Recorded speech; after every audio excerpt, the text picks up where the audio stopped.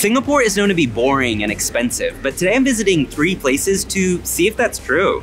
The first one is in the Central Business District. This skyscraper is not just an office building. Its rooftop is an observatory deck, and it's totally free. Look at those insane views.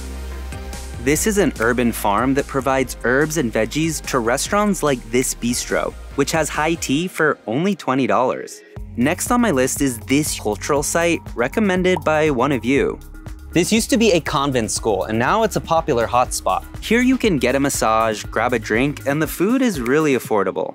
Finally, thanks to your suggestion, I'm exploring a heritage shop house. It's been adapted into a restaurant bar serving modern Singaporean food that you can't find anywhere else. These were really unique and tasty, and all for under $30. Totally worth the price. I discovered some hidden gems today, and the coolest part, I didn't break the bank.